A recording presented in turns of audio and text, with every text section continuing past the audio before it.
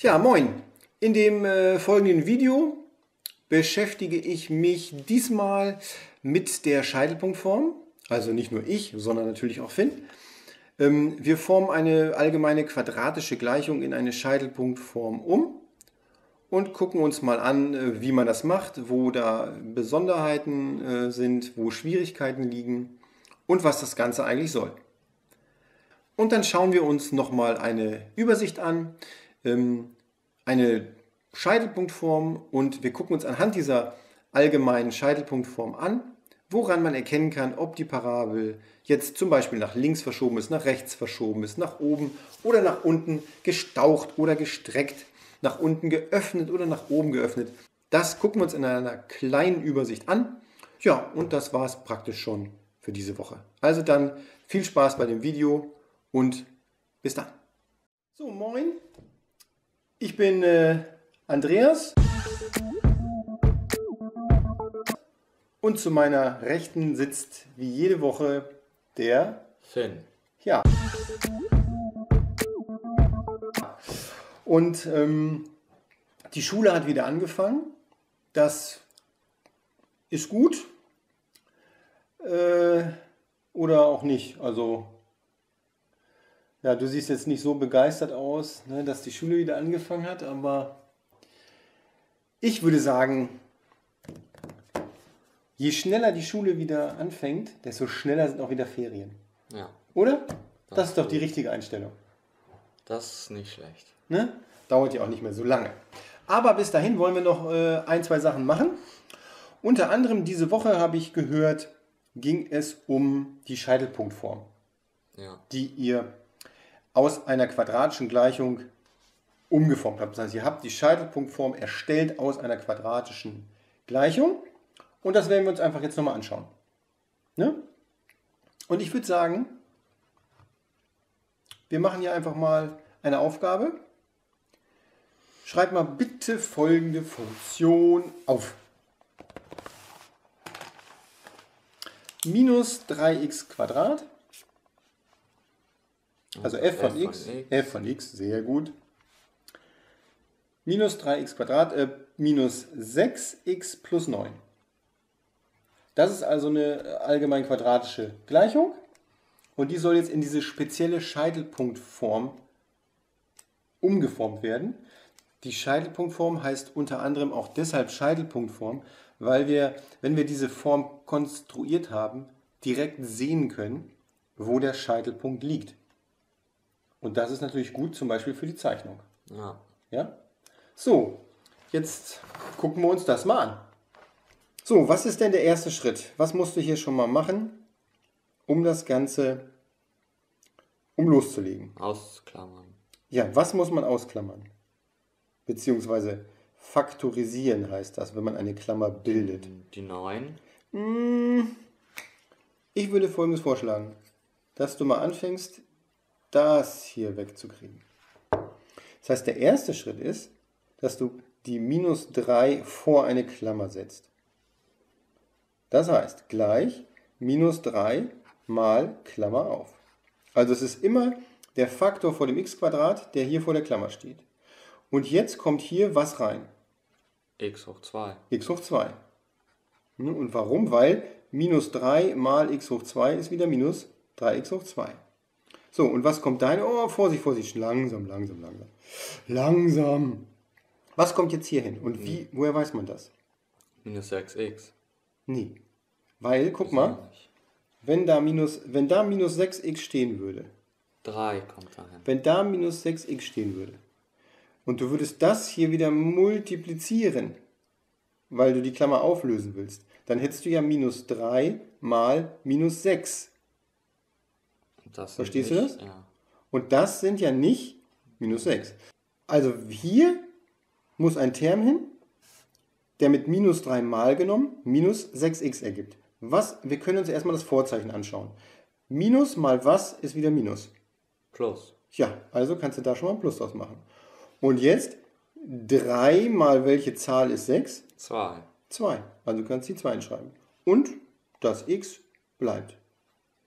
Ja, und jetzt hast du minus 3 mal plus 2x ist minus 6x. X. Man kann natürlich auch diese Zahl hier nehmen und sie durch minus 3 teilen. Dann hat man auch das Ergebnis, was hier steht.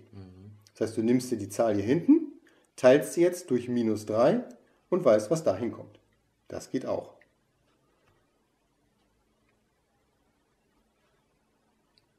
Ja, gut. Ja, minus 3 mal minus 3 ist plus 9. Perfekt. Das ist der erste Schritt. Jetzt wieder ein Gleichheitszeichen. Und wie geht's weiter?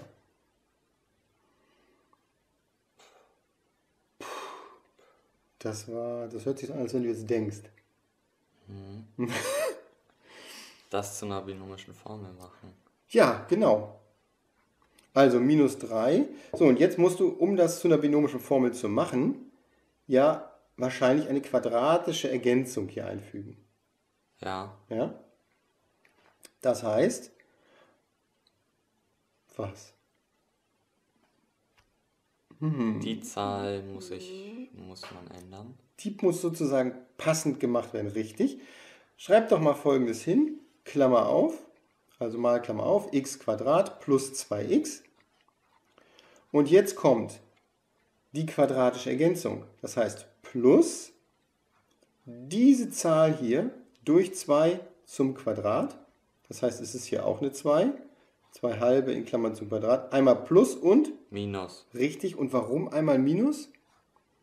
Weil man ja letztlich nichts an dieser Gleichung verändern darf. Ja? Das heißt, ich habe hier plus Minus, diese Zahl, ist ja im Prinzip wieder 0. Ja. Das heißt, wir haben nichts verändert. Ja? Wir wollen nur eine andere Form herstellen und deswegen haben wir das ergänzt. Und dann hinten einfach die minus 3. Das hier ist jetzt die quadratische Ergänzung. Ja? Gut, nächster Schritt minus 3, das bleibt da stehen, mal, jetzt machen wir eine eckige, gut, du kannst voll, ja gut, pass auf, machen wir folgendes Zwischenschritt, Doppelklammer. ja, aber machen wir einen Zwischenschritt noch, äh, schreib mal hin, x Quadrat plus 2x und wir werden hier mal das, was in den Klammern steht, rechnen, also das ist 1. Dann machen wir plus 1 Quadrat, Minus. Hä? ja, schreibt man das, ja, du müsstest es nicht jetzt Quadrat noch hinschreiben, 1 Ja, Quadrat eben. ist ja auch 1, kannst du weglassen, aber dann hast du es komplett ausgerechnet, richtig. Minus 3, genau. So, nächster Schritt. Minus 3 mal, jetzt machst du eine Doppelklammer, genau. Jetzt kommt die binomische Formel. x plus, und jetzt was? Ah, das, das, nicht ganz. Ja, warum eine 1? Was Weil kommt da immer ein- rein? Das. Nee, nicht das. 2 Vergessen- mal 1 mal x sind 2x. Ja, genau. Deshalb muss hier die 1 stehen. Also hier kommt ja nicht die 2 rein. Du hast gesagt, das kommt da rein. Das kommt da nicht rein, sondern die Hälfte von dem, die Hälfte von dem Wert, der hier steht, kommt immer hier rein. Oder auch die Wurzel von dem Q hier sozusagen. Die Wurzel davon oder die Hälfte davon kommt hier rein. Ja. Ne? Klammer zu, zum Quadrat. Denn das ist hier meine binomische Formel. Und jetzt musst du Minus noch 4. minus 4, richtig. Irgendwie so eine Doppelklammer. Ja, Kann man gar nicht. doch, doch. Minus 4, Klammer zu. Doppelklammer deshalb, weil du ja diese minus 3 hier mit dem Ganzen multiplizieren musst am Ende nochmal. Denn da hast du die rausgeklammert, wie du siehst. Hier. Dann rechnest du erst das aus Und- und, dann das und dann das. Ja, du musst jetzt nur noch einen Schritt machen. Du hast ja hier die große Klammer. Ja? Und da drin ist die binomische Formel und hier hinten die minus 4. Und das musst du jetzt noch ausklammern. Das heißt, jetzt rechnest du minus 3 mal das und minus 3 mal das. Im nächsten Schritt schreibst du jetzt hin, minus 3 mal, und dann kommt die binomische Formel, die bleibt genau so da stehen. Die minus 3 ist jetzt nur davor. Und jetzt rechnest du minus 3 mal Minus 4. minus 4 ist insgesamt 12. plus 12. Exakt. Und jetzt weißt du, wo der Scheitelpunkt ist. Jetzt kannst du hinschreiben, großes S, Klammer auf. Und der Scheitelpunkt ist jetzt immer, na, 12 minus 3. ja, nicht ganz. Andersrum. Man vergisst so schnell, ne? Ich weiß ja. Minus ich weiß ja. drei, Es gibt so viele schöne andere Sachen, die man Sag. machen kann. Minus 1 und 12. Der x-Wert ist immer das Gegenteil von dem, was hier drin steht. Und der y-Wert wird so. genauso übernommen. Ja? Soll ich jetzt nochmal eine Aufgabe vorrechnen? Nö. Nö. Meinst du, es reicht? Ja. Ich glaube, ich rechne nochmal eine Aufgabe. Eine komplizierte oder eine einfache? Kompliziert. Kompliziert? Ja, damit man die dann auch mal weiß. Ah, sehr vorbildlich. So, dann machen wir eine mit einem Bruch, würde ich sagen. Ja? Ich schreibe mal folgende Funktion auf. f von x gleich. Nehmen wir mal hier diese. Eine halb x Quadrat minus 5x plus 8. Schauen wir uns mal an, was wir jetzt hier machen müssen. Erster Schritt wäre was? Wieder ausklammern. Und zwar, was muss ich hier ausklammern? Beziehungsweise nicht ausklammern, faktorisieren heißt es, also eine Klammer bilden. x hoch 2 bis plus 8. Ja, da, du, ich weiß, was du meinst, aber Ach was so, ich jetzt... 1,2, also 1 durch 2, also 0,5. Genau. Man schreibt möglichst ähm, eine Dezimalzahl, ne, weil man Brüche hasst. Aber ich lasse jetzt mal die Bruch, den Bruch stehen. Also ein halb mal, Klammer auf. Hier bleibt x Quadrat und jetzt wird schwierig. Was mit ein halb mal genommen ergibt 5? 10. Das Mathebuch hat heute Nacht unter dem Kissen gelegen, ne? 10, richtig. 10x, das heißt, jetzt habe ich hier Plus mal Minus ist Minus und ein halb mal 10, also die Hälfte von 10 ist 5. Und hier hinten 16. plus 16, richtig. Ne? Denn ein halb mal 16 ist 8. Und das Vorzeichen hier Plus, ne? weil Plus mal Plus Plus ist. Sehr gut. So, die ein halb bleibt jetzt praktisch immer davor stehen. Und hier drin mache ich jetzt als erstes die quadratische Ergänzung. Das heißt, hier kommt hin Plus. plus 10 ja, durch 2 ja, hoch 2 in Klammern hoch 2. und das Ganze nochmal ein Minus. Warum nochmal Minus? Ähm, weil man darf die ja nicht verändern. Also es, das ergibt ja insgesamt 0. Richtig. Genau. Und da, hier muss noch dann plus 16. Plus hin, 16. ne? Ja. Gut. Dann habe ich gleich 1 mal x Quadrat minus 10x plus so. 25 Ja, sehr gut. minus 25 plus 16. Plus 16, Klammer zu. Dann bin ich bei 1 mal, Klammer auf, Klammer auf. Ich kann hier auch eine eckige Klammer machen, ne, um das ein bisschen zu unterscheiden. X Und jetzt x, minus, warum hier ein Minus? Weil da auch ein Minus Richtig, genau, hier. Und jetzt die Fünf. Hälfte hiervon, richtig. Die Hälfte hiervon oder die Wurzel hiervon. Hm? Zum Hoch 2 Paar, genau. Und, und das, das, hier, sind 5, 9, 9, 9. Minus 9. minus oder plus 9? Minus. Richtig, minus 9. So, und jetzt muss ich noch eine Sache machen. Ich muss diese eckige Klammer wieder auflösen. Was jetzt falsch wäre, wenn du jetzt sagst, der Scheitelpunkt ist bei plus 5 und minus 9. Das ist nämlich falsch. Weil es noch nicht ausgerechnet Richtig, ist. weil es noch nicht ausgeklammert wurde. Das heißt jetzt zack, zack, ein halb mal diese Klammer ist also nur ein halb mal x minus 5 Hoch 2. hoch 2, das bleibt so. Und dann ein halb mal minus 9, Vorzeichen, plus mal minus ist minus, 4,5. 4,5, 9 halbe, 4,5. Und jetzt wäre der Scheitelpunkt bei x-Wert Plus 5 plus 5 minus 4,5. minus 4,5. Ich würde sagen, sehr gut. Zack, zack, Smiley. Du kriegst ein Bienchen. ein Fleißbienchen. ja, das war äh, jetzt hier mal ein Beispiel, wie ich eine allgemein quadratische Funktion in die Scheitelpunktform bringe. Also auch mit dem Ziel, dass ich dann den Scheitelpunkt direkt ablesen kann aus der Funktion und ich dann zum Beispiel auch eine sehr schöne Zeichnung machen kann, weil ich genau weiß, wo der Scheitelpunkt liegt. Ne? Und wenn ich jetzt eine Wertetabelle machen will, also x und y x-Werte einsetzen und y-Werte ausrechnen, dann weiß ich jetzt, der Scheitelpunkt ist meinetwegen bei hier bei 5. Mhm. Ja?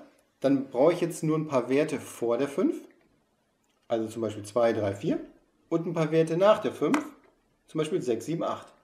Ja. Und dann habe ich genau aber meine schöne Parabel äh, eingezeichnet, ne, habe schön die Werte und weiß vor allen Dingen, welche x-Werte ich einsetzen muss, damit ich auch hier den Scheitelpunkt treffe. Ja? Mhm. Weißt du, was ich meine? Ja. Gut. Eine Sache will ich mir noch mal mit dir hier angucken. Und zwar folgendes. Ich habe hier eine kleine Übersicht. Ja? Und die schauen wir uns mal an. Gehen wir mal kurz durch. Das hier ist also die Scheitelpunktform. a mal, Klammer auf, x plus d, Klammer zu, zum Quadrat plus e. Ja? Manchmal steht hier auch ein Minus d. Das spielt aber keine Rolle. Ja? Man muss eben gucken, wenn hier ein Plus d steht, dann ist der Scheitelpunkt letztendlich bei Minus d. Steht Nein. hier ein Minus, Minus d. d steht, dann kommt da ein Plus. Genau. Ne? So, ähm, gehen wir das mal durch. Also hier zuerst mal gibt es hier ein Vorzeichen. Ja, vor einer Zahl, die vor der Klammer steht. Wenn da keine Zahl vor der Klammer steht, dann ist a automatisch welche Zahl? Plus. Welches Vorzeichen meinst du? Nee, ja, wenn jetzt keine Zahl vor der Klammer steht. Also beispielsweise, ja, beispielsweise x. hier nur so. x minus 3 zum Quadrat. Da steht ja gar nichts davor. Nee. Dann ist sie nach oben. Naja, sagen wir mal so, man sieht hier keine Zahl, aber du kannst ja eine Zahl hier vordenken. Eins. Eins, genau. Einmal sozusagen. Einmal kann ich auch weglassen. Das heißt, wenn da nichts davor steht, ist es eine Eins. Und dann haben wir die Normalparabel. Ja, die geht ne? ja immer nach oben. Außer wenn da ein Minus steht. Genau, das, also ich wollte nur noch mal darauf hinweisen, dass hier habe ich jetzt einen Buchstaben, der steht ja für eine Zahl. Wenn da aber gar keine Zahl zu finden ist, ist es trotzdem eine, nämlich die 1. Ja. Ne? Das wollte ich nur mal kurz noch erwähnen. Also, zuerst das Vorzeichen. Plus, Minus. Da kann entweder Plus oder Minus stehen. Steht da nichts, ist es Plus. Ja. ja. Bei Plus haben wir nach oben geöffnet. Bei Minus ist sie nach unten, unten geöffnet. geöffnet. Richtig. Das ist das Vorzeichen von A. Dann haben wir das A. Das A bedeutet meine Zahl für Streckung oder Stauchung. Habe ich eine Zahl da, die größer ist als 1, 2, 3, 4, 5, 2,7 und so weiter, ist die ganze Geschichte schmaler als die Normalparabel. Man sagt auch gestreckt. Ja? Ist die Zahl zwischen 0 und 1, also 0,4, 0,1, 0,7, 1,5, 7 Achtel, ja? dann ist das Ganze breiter oder auch gestaucht. Breiter als die Normalparabel immer. Ne? Gut, dann kommen wir hier zu dem d. Diese Zahl in den Klammern hier gibt mir an, wie die Normalparabel in x-Richtung verschoben ist. Habe ich hier drin zum Beispiel minus 3 stehen, dann weiß ich, ich habe eine Verschiebung um 3 nach rechts. Steht da drin plus 3, dann habe ich eine Verschiebung der Normalparabel um 3 nach links. Ja? Gut. Hier, also wenn da nichts steht, wenn also praktisch da nur x Quadrat steht, dann habe ich gar keine Verschiebung. Weder nach links noch nach rechts. Das wäre dann ja x hoch 2. Genau, dann wäre dann nur, würde das 0, dann könnte man schreiben x plus 0 zum Quadrat, würde aber das plus 0 weglassen, da würde nur x Quadrat stehen. Richtig. So, hier haben wir noch unser e hinten. Das ist die Verschiebung in y-Richtung. Steht da zum Beispiel eine plus 4, also ein Plus, ist es eine Verschiebung nach oben. Habe ich da ein Minus, ist es eine Verschiebung nach unten. Unten, genau. Jawohl. Und den Scheitelpunkt könnte ich jetzt hier aus dieser Funktion ablesen. Minus d wäre der x-Wert und e der y-Wert. Ja? Hätte ich hier zum Beispiel die plus 3 da stehen, ist der Scheitelpunkt minus 3. Und ja, das war äh, das war's schon für heute. Kurz und knackig, würde ich sagen. Aber das muss ja auch nicht immer ewig lang dauern. Ne? Je kürzer, desto besser. Jawohl. Ja, jawohl. Und wenn man das alles verstanden hat, noch schöner. Alles klar. Das äh, war es von uns. Wir sind raus. Ich sage Tschüss und Bis, Bis- zum nächsten Mal. ja, bis zum nächsten Mal. Das dauert ja gar nicht so lange. Nö, Ne? eine Woche. Und was machst du jetzt noch so? So. Zocken. Alles klar. In diesem Sinne, bis nächste Woche. Tschüss.